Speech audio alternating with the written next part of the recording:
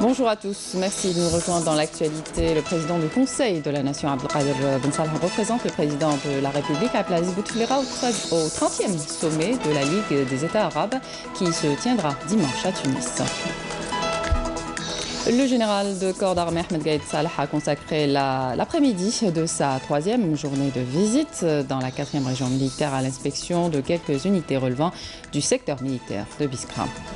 Et à Biskra, le centre anti-cancer accueille les malades de la région pour les traitements périodiques, mais il a une autre mission préventive pour prévenir le cancer chez certains patients.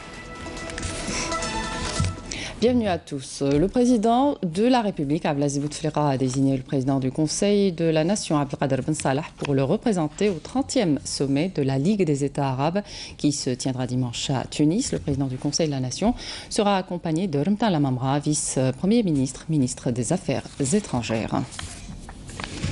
Le général de corps d'armée Ahmed Gaïd Salah, vice-ministre de la Défense nationale, chef d'état-major de l'armée nationale populaire, a consacré l'après-midi de sa troisième journée de visite dans la quatrième région militaire à l'inspection de quelques unités relevant du secteur militaire de Biskra, à l'entame au niveau du siège du commandement et en compagnie du général-major Hassan Alaimia, commandant de la quatrième région militaire. Le général de corps d'armée s'est recueilli à la mémoire du martyr Shihani Bashir. Une gerbe de fleurs a été déposée devant la stèle commémorative. Il a par ailleurs récité la Fatiha du Saint-Coran à sa mémoire et à la mémoire de tous les shuhada.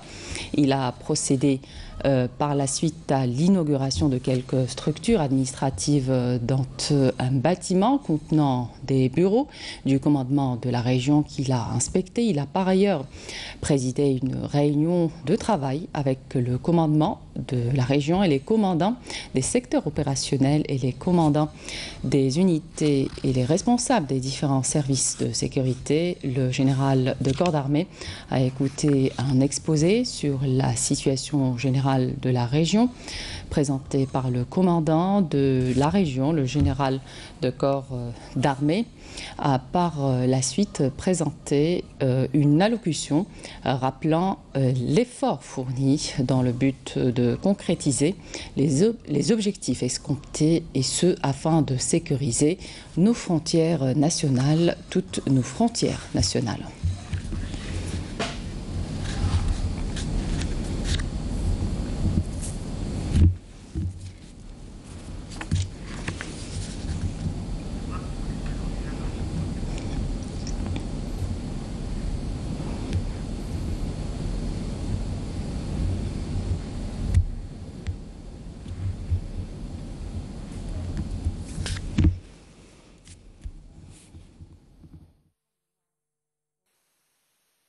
لقد تم توفر كافة عوامل.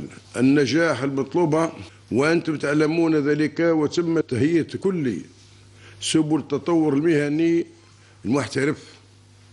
من حيث التجهيز والتكوين والتحضير والتحسيس وإننا ندرك جيدا أن كل هذه الجهود المبذولة في السنوات الماضية على أكثر مستوى. قد أثمرت نضجا مهني رفيع وتمرس قتالي وعملياتي عالي وأنتجت أساسا وعي شديد بحساسية المهام الموكلة وبضرورة أدائها على الوجه الأصوب فبقدر هذا الارتياح الذي نشعر به كلما فقدنا الأفراد والوحدات والنواحي والقوات فإننا نبقى دوما نطلب المزيد. فالجزائر تستحق من كافة أبنائها في كافة مواقعها بأن يكونوا حصن منيع وهنا يكمن سبب ارتياحنا لا إننا نشعر فعلا أن الجيش الوطني الشعبي هو سليل فعلي للجيش التحرير الوطني فلا خوف. على وطن تشبع أفراد جيشه بقيام تاريخهم الوطني ويعتبرون استفادة من دروسه بمثابة المنارة التي يهتدون بنورها على مسار امتلاك المزيد من القوة التي بها تحفظ هيبة الجزائر. وتصان سيرتها الوطنية وحدتها الترابية والشعبية. Dans un communiqué, le ministère des Affaires étrangères dément les informations diffusées par quelques organes de presse, notamment électroniques, au sujet d'une prétendue saisie par une autorité sécuritaire des passeports diplomatiques qualifiant ces informations de fausses et dénuées de tout fondement, tout en rappelant que cette catégorie de passeports est délivrée exclusivement aux seules personnes habilitées conformément aux lois et règlements en vigueur. Le ministère des Affaires étrangères atteste euh, qu'aucune mesure restrictive n'a été prise par quelque autorité que ce soit contre les détenteurs de ces documents de voyage. Batimatech 2019 à présent, le salon a mis en avant des entreprises qui proposent des solutions technologiques pour la gestion des projets de construction de grande envergure. L'exemple avec la start-up AutoPro qui bénéficie d'une forte expérience dans le domaine au Moyen-Orient et qui vient d'ouvrir une entreprise en Algérie. Reportage Amel Boarba. C'est un outil euh, qui est à base de PMI Standard et euh, c'est pour la gestion de toute la documentation euh, administrative sur un projet de construction. Le client peut avoir une visibilité de tous ces projets en même temps. Là, vous avez par exemple les critical issues on site, qui veut dire les, les problèmes qu'on a sur le site. Voici un logiciel performant et innovant pour la gestion des méga-projets de construction, de la phase d'étude jusqu'à la finalisation, ainsi que le contrôle des documents administratifs. Cette solution technologique a été développée par cette start-up qui jouit d'une grande expérience dans la mise en œuvre de systèmes de gestion de projets de grande importance au Moyen-Orient. Une véritable innovation technologique mise en avant lors de la 22e édition du Batimatech. Euh, Autopro Software Solution est un logiciel euh, et un processus euh, de gestion de projets de construction euh, en général. On a des expériences à l'étranger, on a réussi à l'étranger, pourquoi pas en Algérie? On participe à cette foire pour introduire cette nouvelle technologie de gestion de méga projets de construction, gestion, je précise très bien, gestion de la documentation administrative. On est agréablement surpris par l'intérêt que tout le monde montre, établissements étatiques, établissements, privés, des PDG jusqu'à des étudiants. Ça nous encourage à actuellement comprendre qu'on a pris la bonne décision de venir et d'ouvrir la compagnie ici en Algérie, qui se fait là euh, très rapidement, ça va être fait. On s'installe. On a l'intention de recruter des Algériens pour euh, comprendre le know-how euh, de, de cette technologie, de ce logiciel. Je suis très content d'être en Algérie. Je suis agréablement surpris car j'ai constaté une soif des Algériens d'apprendre et de suivre l'évolution vertigineuse de la technologie qui est désormais à portée de main sur nos smartphones. J'espère qu'avec l'entreprise que nous allons installer en Algérie, nous allons travailler et collaborer avec les Algériens. Conçu pour la portabilité et la facilité de maintenance, cet outil technologique offre plusieurs avantages. Gagner du temps, gagner de l'argent et surveiller la qualité du projet, mais on time. Ce n'est pas un logiciel individuel. C'est un logiciel de collaboration qu'on n'utilise plus euh, euh, Word, Excel, euh, c'est tout est généré de ce logiciel. Très contente aussi de dire qu'on est en plein négociation avec euh, euh, des, établissements euh, importants ici en Algérie et ils ont été extrêmement réceptifs et ils sont intéressés par le fait d'avoir ce, logiciel introduit dans le, marché algérien. Plus qu'un simple logiciel, cet outil technologique est donc une solution efficace, simple et rapide pour la gestion complète des projets de construction. La production de la fraise dans la wilaya de Tipaza s'est caractérisée cette année par une abondante récolte avoisinant les 1000 quintaux, ce qui a permis à la wilaya d'occuper la première place à l'échelle nationale. Tipaza célèbre cette année la dixième édition de la fête de la fraise. Couverture d'El El Madi, le récit est signé Soumaya Zarouali. De bien belles récoltes des différentes variétés de la succulente fraise. Un fruit doté d'une valeur nutritive élevée sont exposés ici à l'occasion de la fête de la fraise dans la wilaya de Tipaza, qui occupe la première place à l'échelle nationale en matière de production de ce fruit. Nous assistons à cette manifestation pour encourager les agriculteurs de la wilaya de Tipaza afin qu'ils puissent redoubler d'efforts. De notre côté, nous leur assurons aide et accompagnement. Cet accompagnement a permis à de nombreux agriculteurs de couvrir le marché local en matière de production de la fraise et de se positionner également sur les marchés internationaux. Concernant la production de la fraise cette année, il y a une abondante récolte et les prix sont abordables et à la portée des bourses moyennes. Ça peut aller de 150 dinars à 250 dinars. Nous avons même une demande pour exporter ce fruit aux pays du Golfe. D'ici la fin avril et tout au long du mois de mai, nous allons avoir une plus grande production qui va probablement conduire à la baisse des prix jusqu'à 100 dinars. Pour ce qui est de cette saison, la filière de la fraise a connu une amélioration significative. Elle est passée d'une superficie de 400 hectares à 694 hectares. La plantation anarchique de la fraise constitue un véritable obstacle pour les services agricoles pour recenser la production totale, car l'on prévoit que la récolte atteigne les 1000 quintaux cette année. Sensibiliser les plus jeunes au rôle euh, crucial de l'eau dans notre vie, c'est l'objectif de l'Agence nationale de gestion intégrée des ressources en eau à travers des actions éducatives et pédagogiques à destination du grand public en direction en particulier des enfants. Pourquoi les enfants? Parce que tout simplement ce sont les citoyens de demain. Jazia Bayou. En ce jour printanier et en cette période de vacances, le grand public et surtout les jeunes enfants ont été conviés dans cet endroit féerique à cette journée porte ouverte sous le thème Tous ensemble pour l'économie de l'eau.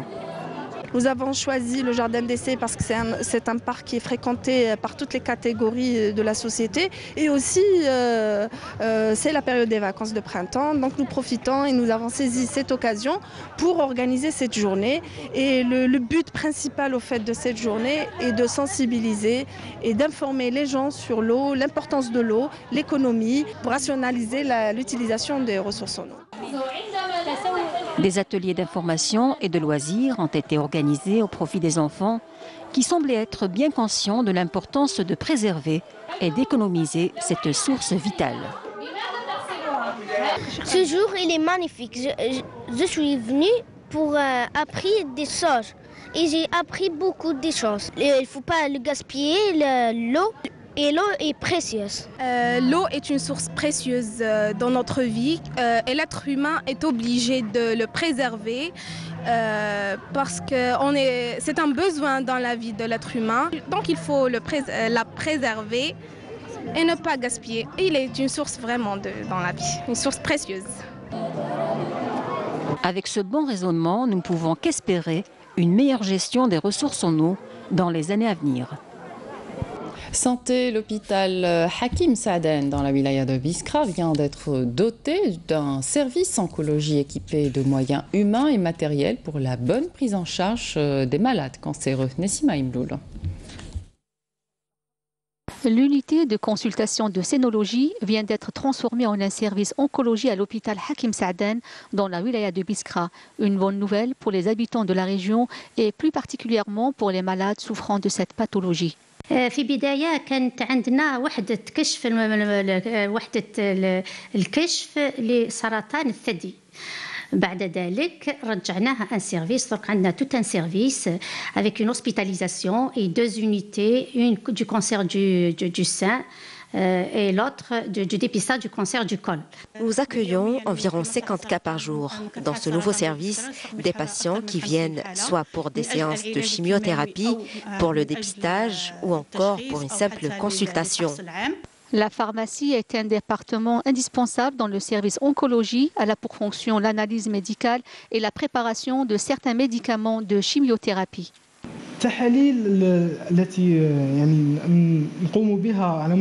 En plus de leur efficacité, les analyses que nous effectuons au niveau du laboratoire du service oncologie permettent d'épargner aux malades le déplacement et les frais supplémentaires.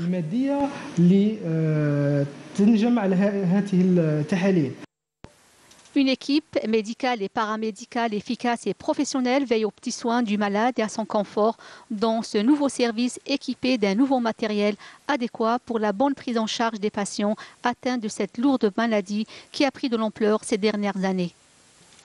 Les athlètes du centre psychopédagogique pour enfants déficients mentaux de Tamanrasset viennent de réaliser de véritables performances. Ils ont décroché six médailles, dont trois en or aux épreuves d'athlétisme aux Jeux mondiaux spécial olympiques d'Abu Dhabi aux Émirats arabes unis. Fatma Zohra Ben Amel Animés d'une volonté de faire et d'une détermination à toute épreuve, ces athlètes du centre psychopédagogique pour enfants déficients mentaux de Tamanrasset ont réussi un véritable exploit et une prouesse extraordinaire. Ils ont décroché avec mérite six médailles, dont trois en or, aux Jeux olympiques spéciaux d'Abu Dhabi aux Émirats arabes unis. J'ai décroché la médaille d'or. Tout le monde doit être fier de nous, nous encourager et nous faire confiance.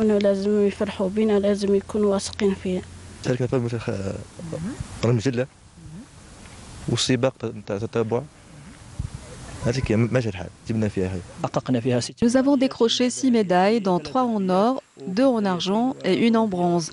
Dieu merci, nous sommes contents de ces performances et nous demandons aux autorités locales de les prendre en considération et nous encourager. Grâce aux efforts de certains responsables et surtout grâce à l'encadrement assuré par le centre psychopédagogique des enfants déficients mentaux de Tamel Rasset, les athlètes ont réussi à participer aux Olympiades et réaliser ces résultats. Notre objectif est d'ouvrir de nouvelles perspectives et opportunités à ces enfants dans tous les domaines sportifs, culturels et sociaux.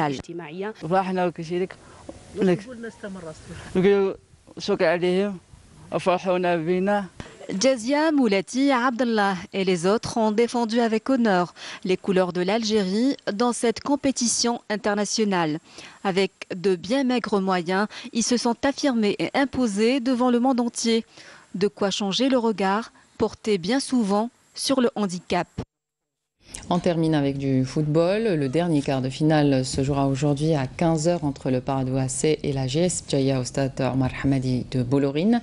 Hier, le CR Belouzdad et le CS Constantine ont rejoint le SCTIF en demi-finale de la Coupe d'Algérie de football à l'issue des quarts de finale retour disputés hier en éliminant respectivement le Net Hussendi et le MC Oran. Le SCTIF a été le premier à valider son billet pour les demi-finales en écartant de son chemin l'USM Annaba.